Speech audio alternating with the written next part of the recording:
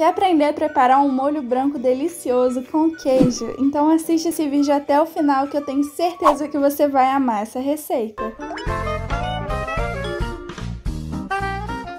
Em uma panela com fogo baixo, você vai adicionar 3 colheres de sopa de margarina e vai deixar ela derreter.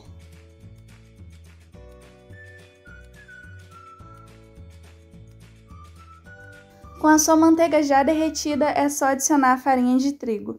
Uma dica que eu te dou é peneirar a farinha de trigo quando levar ela para a panela. Com isso, seu molho branco vai ficar mais leve e evita de ficar com aquelas bolinhas indesejadas da farinha de trigo.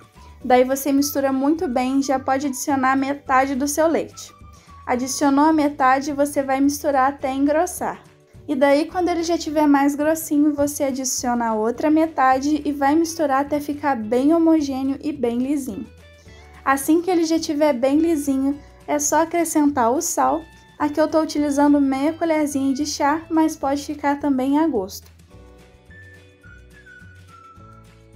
Em seguida, a gente já pode acrescentar o creme de leite e aqui eu estou utilizando creme de leite sem soro, aquele que vem na caixinha mesmo. E por fim, podemos acrescentar o queijo parmesão ralado, e aqui eu estou utilizando 25 gramas, que é metade de um pacotinho padrão que vende no mercado. É só você continuar misturando até engrossar mais um pouquinho e o seu molho branco já vai estar prontíssimo. É só você servir com uma lasanha ou então colocar no escondidinho que eu tenho certeza que todo mundo vai adorar.